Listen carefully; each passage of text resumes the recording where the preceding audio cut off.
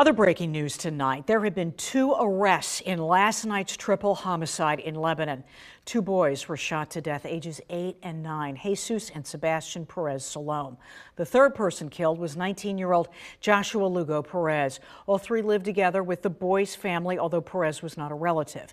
Tonight, police have made two arrests. One of them is 22 year old Alex Torres Santos, who was supposed to be home on house arrest for two prior criminal incidents and who police say was planning to deal crack cocaine and who allegedly had a gun illegally.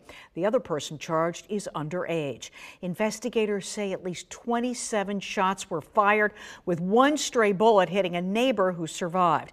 Here is Sonica Bargo's report from the scene earlier today.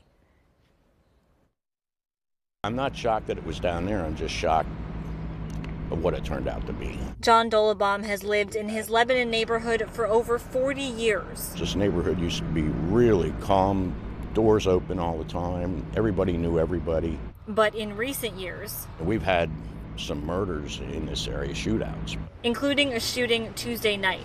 Four people hit, three of them killed, and neighbors quite shaken. That's why I said I looked the way I do because I didn't sleep last night.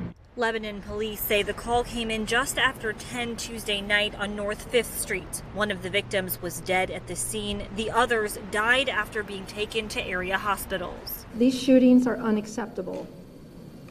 As a mom, I cannot uh, overstate how heartbroken I am for the families. Families mourning two young children, boys ages 8 and 9. The other slain victim was a young man, just 19.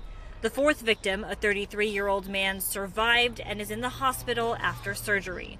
Dolabom heard the shots. By the time I even got up to go into the kitchen to look out the back door, it just took off like crazy and it wasn't like an automatic. He says officers were out there all night long and police say they're still following up on leads. We have dedicated law enforcement personnel who take these incidents personally. Dolabom says he's glad to hear that, and while he's not scared, he's definitely going to be more careful. I'm going to be locking my door now at night all the time. Sonica Bargo, ABC 27 News.